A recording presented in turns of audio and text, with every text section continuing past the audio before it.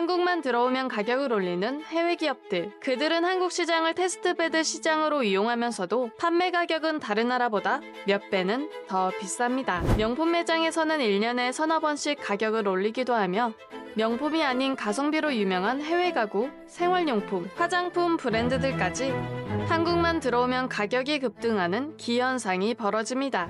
그럼에도 전 세계에서 명품을 가장 많이 소비하는 나라는 한국이었는데요. 일부 한국 소비자들은 직접 해외에 가서 사오거나 해외 사이트에서 직구를 할 정도로 구매에 열을 올립니다. 이를 내키지 않아 하는 해외 브랜드들은 자사 사이트 내에서 한국 배송을 아예 차단하기도 하는데요. 하지만 쉽게 굴복할 한국 소비자들이 아니죠. 홈페이지 접속을 차단하면 VPN 우회 접속으로 들어가고 결제 수단이 막히면 현지 간편 결제 서비스를 이용하며 한국 주소에서 막히면 배송 대행지를 이용하기도 합니다. 이처럼 한국 소비자들에게 갑질을 하는 해외 기업들은 오래전부터 있었는데요. 그들이 한국에서만 유독 비싸게 파는 이유는 도대체 무엇 때문일까요? 그 이유는 어차피 그래도 잘 팔리기 때문입니다. 브랜드들이 가격을 인상한다고 하면 한국 소비자들은 오히려 텐트를 치며 밤을 지새우고는 백화점 셔터가 열리자마자 좀비 때처럼 매장으로 뛰어들어갑니다. 물론 대부분이 리셀러들이겠지만 어쨌든 그만큼 수요가 많기 때문에 이런 현상이 벌어지는 것이죠. 그렇다면 한국 소비자들은 왜 해외 기업들이 가격을 올려도 오히려 더 구매하는 걸까요?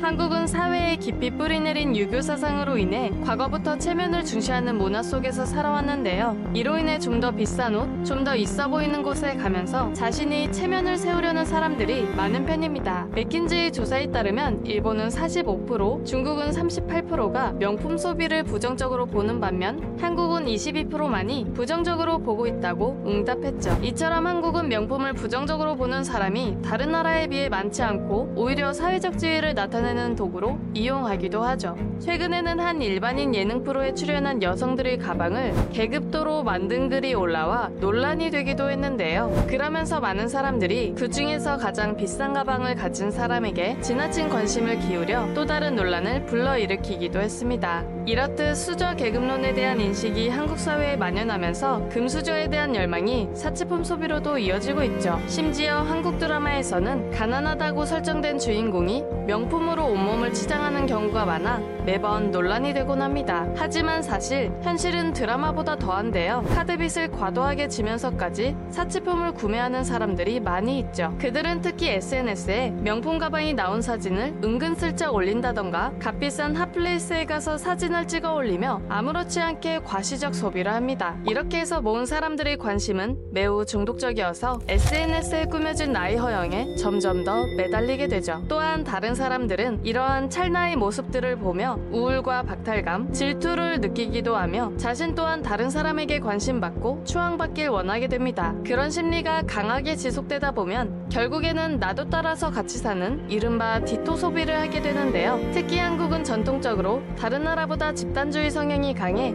남들이 사면 자신도 따라 사는 현상이 더 짙게 나타나는 편이죠. 때문에 일반인들도 유명인들을 따라서 구매한 제품을 SNS에 자랑하면서 사회적으로 연쇄 구매를 일으킵니다. 이런 특성을 일찍이 파악한 명품 회사들은 스타와 인플루언서를 활용한 마케팅을 공격적으로 펼치며 많은 사람들의 구매욕을 상승시키고 있죠. 그렇다면 이러한 소비 굴레에서 벗어나려면 어떻게 해야 할까요?